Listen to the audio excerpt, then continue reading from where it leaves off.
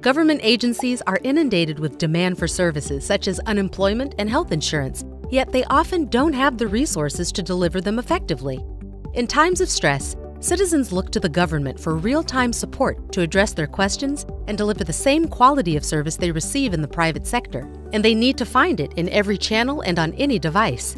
Imagine providing your constituents with immediate 24 7 AI driven self service in a way that's natural and seamless, an unforced conversation that can also transition them to a human agent when needed. That's where Contact Center AI comes in. Google Cloud and Genesys have partnered to help state, local, and international government agencies reimagine service delivery using conversational AI. Virtual agents leverage Google Cloud's natural language understanding to determine intent and help citizens with a variety of self service needs. You'll be able to answer questions like What do I need to do to get a real ID? What are the wait times in the ER? Where can I get details on unemployment benefits? Or even, what's the status of my appeal?